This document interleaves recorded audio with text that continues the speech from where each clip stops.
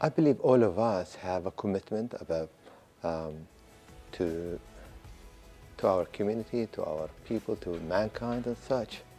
Though if we are lucky, we have to remember that luck somehow should not be only to us.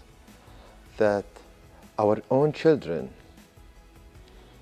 we should love them, care about them, but we should always think those about those children who have never been as lucky and how we can make a difference to them.